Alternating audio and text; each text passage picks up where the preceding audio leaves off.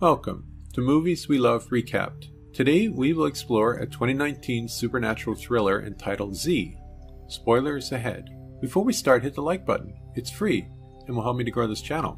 Stay to the very end, and I'll give you my personal take on this strange thriller.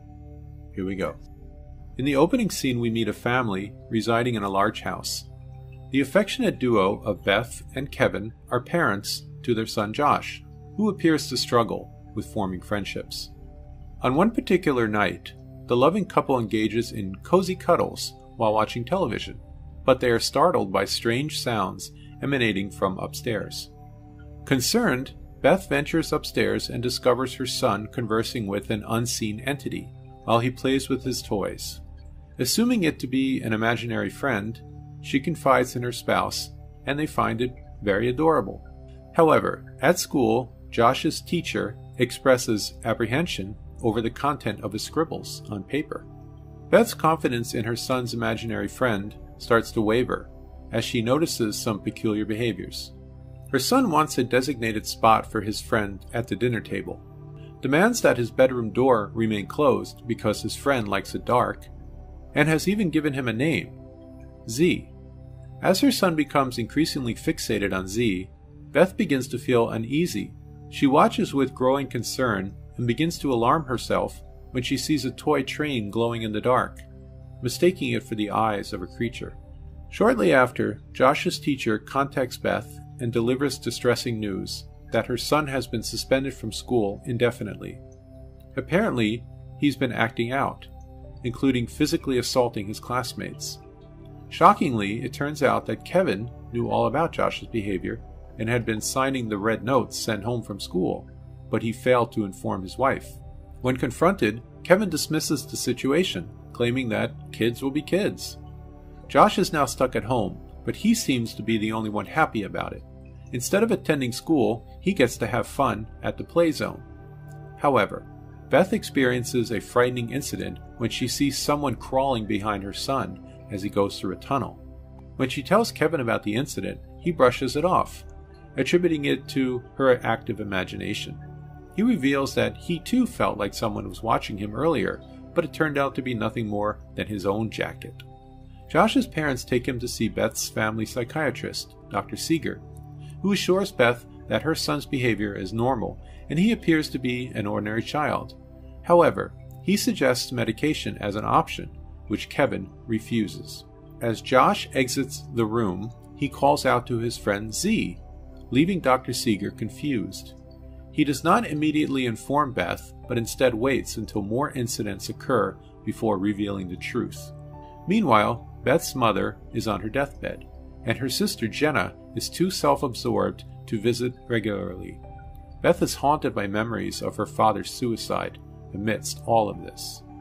Beth visits her friend Georgia in an attempt to arrange a playdate for Josh, but she soon discovers that George's son Daniel wants nothing to do with him. While the two mothers discuss the matter, Daniel has a violent fall from an upstairs railing and is rushed to the hospital by paramedics. In her anger and distress, Georgia bans Beth and Josh from her home. After the incident, Beth concludes that Josh needs to be medicated. Later on, Josh creates a mural of Z on his bedroom wall.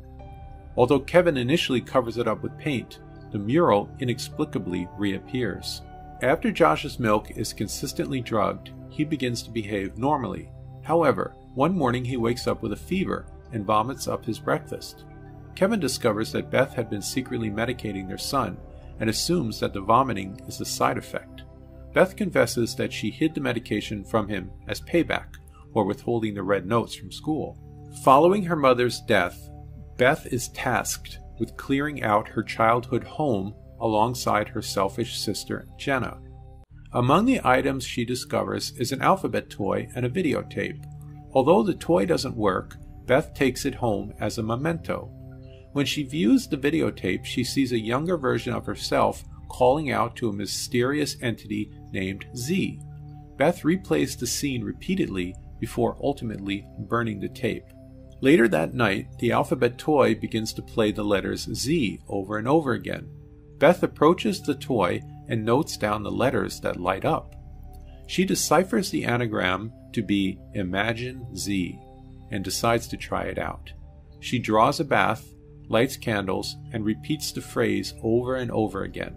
Suddenly, Z appears before her, causing Beth to scream in terror. Kevin comes to her aid and consoles her.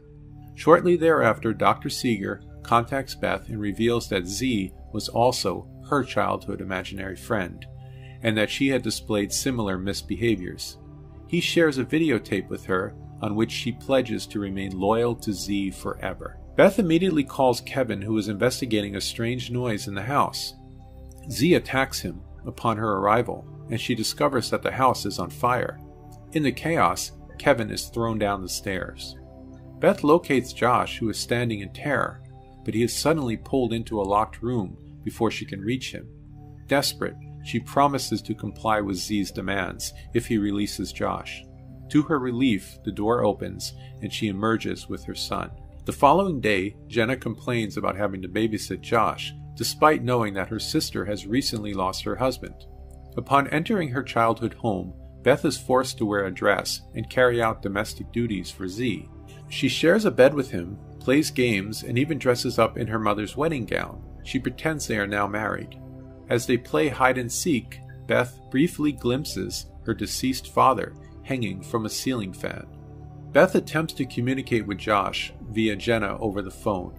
Z becomes enraged and escapes the house, intent on harming Beth's son.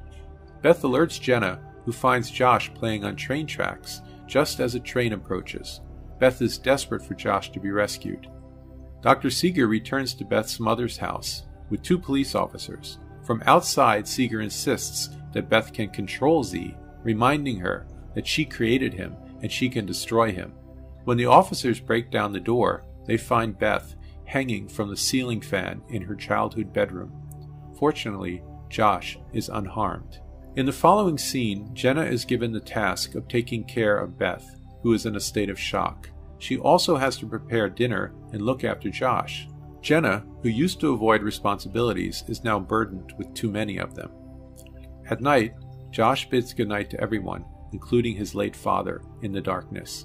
He then bids goodnight to Z. The film ends here. Okay, here's my take. Since Josh wishes the living and the dead goodnight, it remains to be seen whether Z is still there because of Beth, or destroyed because Beth is incapable of imagination now and has successfully destroyed him in the process. The movie has some intriguing moments, and the first half is particularly engaging as the story develops. However, the second half falters as it struggles to come up with a suitable conclusion. The film never explains how Z was able to escape from Beth's imagination and enter her son. It is left to the audience to draw their own conclusions and to speculate whether Beth's imagination was also nourishing Josh while he was in the womb. Thanks for watching.